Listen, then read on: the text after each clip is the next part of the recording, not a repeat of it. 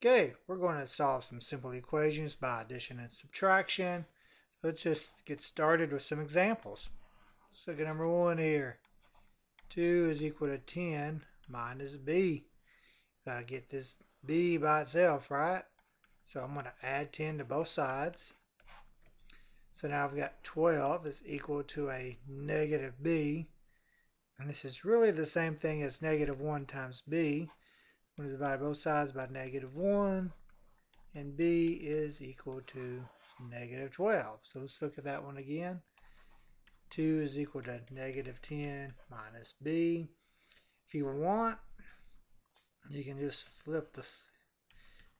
Sometimes people like their um, variable on this side over here. You can switch everything if you want. Still add 10 to both sides. At negative b is equal to a 12. Divide both sides by negative 1. And b is equal to negative 12 once again. So we got another example. Let's move on down here to um, 5. So here you got a plus 14. We don't know what a is, but we know when you add 14 to it, you get 23. So building on that, we're going to do our inverse operation of addition, which is subtraction. So I'm going to subtract 14 from both sides. So I'm just left with a over here. Then 23 minus 14 is just 9. To check that, you take 9 plus 14. That's equal to 23. So we know we got it right. Let's look at 6. Sometimes problems like this throw people off. You got a, two negatives here, right? A negative times a negative is a positive. So first thing I would do with this is I would rewrite it as 11 is equal to x plus 19. So we got this unknown number x. We want to figure out what it is. Well, let's just work with what we know.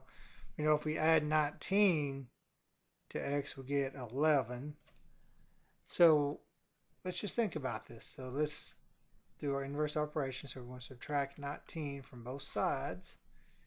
So will give us a negative 8, 8 is equal to x.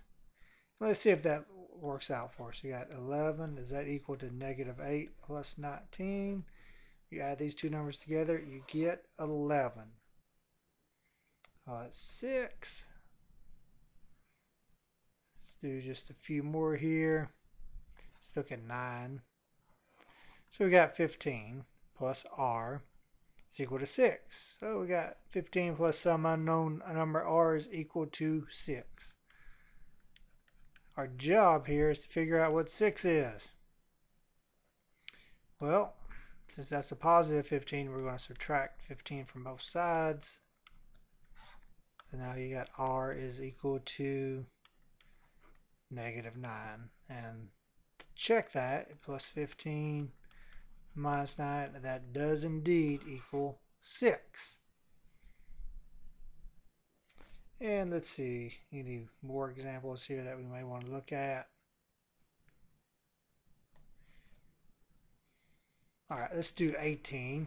Looks kind of interesting. You can, if you want, you take a problem like 18 and you do 13 is equal to x minus 6. So plus, because when you add a negative, it's the same thing as subtract subtracting. So you add 6 to both sides.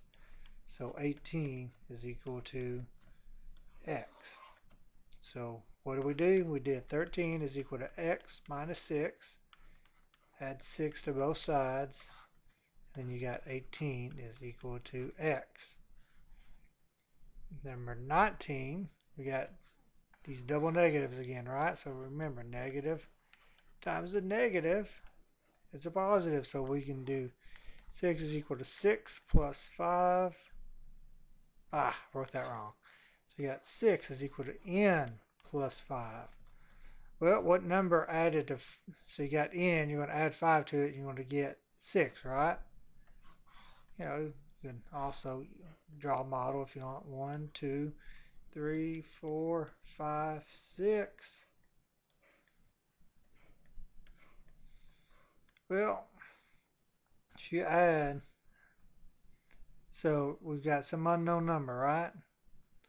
we do know about five numbers. So just one here, right? So 1 plus 5 is 6, and that kind of makes sense. But we still do our inverse operation, so we subtract 5 from both sides. So you got 1 is equal to n, which is kind of what we see here. And that's uh, working at solving simple equations. As, as we work through these uh, problems, we'll get into some more advanced problems. Eventually we'll have something that looks like this. And then you're going to subtract 4 from both sides, and you have 2x is equal to 4. By both sides by 2, x is equal to 2. So what we're working towards, but we got the easier ones done. So good luck. This uh, sheet's on the uh, website, algebraclassnotes.com. If you're on YouTube, just click on the description or the link, link in the description and you'll find it.